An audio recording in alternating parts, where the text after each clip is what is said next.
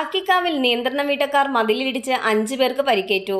പുന്നീർകുളം ആറ്റുംപുറം സ്വദേശി ഐനിക്കൽ വീട്ടിൽ പതിനാറ് വയസ്സുള്ള കാമിൽ പുന്നീർകുളം കൂളിയാട്ടിൽ വീട്ടിൽ ഇരുപത്തിയൊന്ന് വയസ്സുള്ള അനസ് കൂട്ടത്തറയിൽ വീട്ടിൽ ഇരുപത്തിമൂന്ന് വയസ്സുള്ള ദിൽഷാദ് കൂട്ടത്തറ വീട്ടിൽ ഇരുപത്തിനാല് വയസ്സുള്ള നിഷാദ് പുനീർകുളം കൂളിയാട്ടിൽ വീട്ടിൽ പതിനാറ് വയസ്സുള്ള മുസ്തഫ എന്നിവർക്കാണ് പരിക്കേറ്റത്.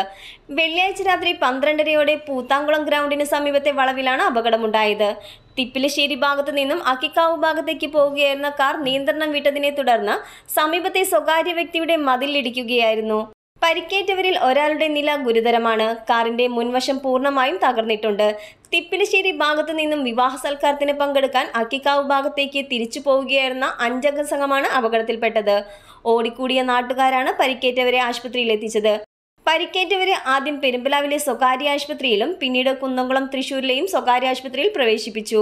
മേഖലയിൽ കഴിഞ്ഞ മാസവും ഇതേ വളവിൽ നിയന്ത്രണം വിട്ട് കാർ ഇലക്ട്രിക്കൽ പോസ്റ്റിലിടിച്ച് അപകടം നടന്നിരുന്നു. റോഡ് നിർമ്മാണത്തിലെ അശാസ്ത്രീയതയാണ് അപകടത്തിന് കാരണമെന്നാണ് നാട്ടുകാരുടെ ആരോപണം. Reporter C